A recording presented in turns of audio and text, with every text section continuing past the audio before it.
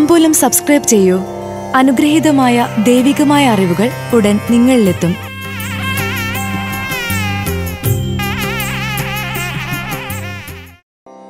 മേടം രാശിക്കാരായ അശ്വതി ഭരണി കാർത്തിക നക്ഷത്രക്കാർ സ്വന്തമായി തീരുമാനമെടുക്കും. ആരെയും ഭയക്കില്ല.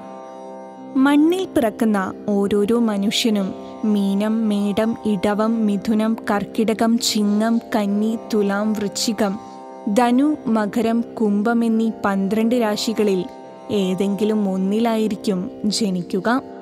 ഈ പന്ത്രണ്ട് രാശികൾ തന്നെയാണ് നമ്മുടെ പന്ത്രണ്ട് മലയാള മാസങ്ങൾ. അതാത് രാശികളുടെ അധിപന്മാരായ ദേവന്മാർ ആരൊക്കെയാണെന്ന് തിരിച്ചറിഞ്ഞ് ആ ദേവന്മാരെ സേവിക്കുകയും പൂജിക്കുകയും യഥാശക്തി വഴിപാടുകൾ നടത്തുകയും ചെയ്യുകയാണെങ്കിൽ ഒരു പരിധിവരെ ഗ്രഹപ്പിഴ ദോഷങ്ങൾ പരിഹരിക്കുവാനും ഐശ്വര്യം വർദ്ധിപ്പിക്കുവാനും കഴിയുമെന്ന് ആചാര്യവര്യന്മാർ നിർദ്ദേശിക്കുന്നു. മേടം രാശിയിൽ അശ്വതി ഭരണി കാർത്തിക ആദ്യത്തെ പതിനഞ്ച് നാഴിക നക്ഷത്രക്കാരാണ്.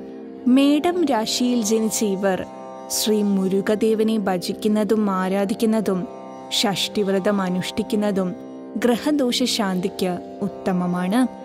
എല്ലാ ചൊവ്വാഴ്ച ദിവസങ്ങളിലും ക്ഷേത്ര ദർശനം നടത്തുന്നതും അന്നേ ദിവസം ഒരിക്കൽ വ്രതമെടുക്കുന്നതും പുഷ്പാഞ്ജലി കഴിപ്പിക്കുന്നതും ദേവപ്രീതിക്ക് പായസം ത്രിമധുരം എന്നിവ വഴിപാടുകളായി നടത്തിക്കുന്നതും ഏറെ ശ്രേയസ്കരമാണ്. ഇവരിലെ വിശേഷങ്ങൾ സ്വതന്ത്രമായ ആശയങ്ങളോട് കൂടിയവരാണ് ഈ രാശിക്കാർ. ശാസ്ത്രത്തിലും വേദാന്തത്തിലും അഭിരുചിയുണ്ടായിരിക്കും. ഇവരുടെ രാശ്യാധിപതി ചൊവ്വയാണെന്നതിനാൽ ധൈര്യശാലികളുമായിരിക്കും. സാധാരണയായി സ്ഥൂലിച്ചതാണെങ്കിലും നല്ല ഉറച്ച ശരീരമായിരിക്കും. പ്രശ്നപരിഹാരമുണ്ടാകാൻ മണിക്കൂർ കണക്കിന് അധ്വാനിക്കാൻ പോലും ഇക്കൂട്ടർ മടിക്കുകയില്ല.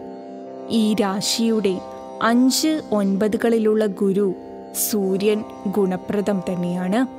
മൂന്ന് ആറ് പതിനൊന്നിലുള്ള ബുധൻ ശനി എന്നിവ അശ്വതി ഭരണി കാർത്തിക നക്ഷത്രക്കാർക്ക് ഗുണപ്രദമല്ല. താമ്പൂലത്തിൽ അഭിലാഷ് പറയേരി. ഭക്തിയാണ് ശക്തി. താമ്പൂലം സബ്സ്ക്രൈബ് ചെയ്തില്ലേ? അറിവുകളാണ് മുന്നോട്ട് നയിക്കുന്നത്. ബെൽബട്ടൺ അമർത്തു. എല്ലാം ആദ്യം അറിയാം. ഭക്തി നിറഞ്ഞ മനസ്സിന് ശക്തി കൂട്ടാൻ താമ്പൂലം സബ്സ്ക്രൈബ് ചെയ്യൂ.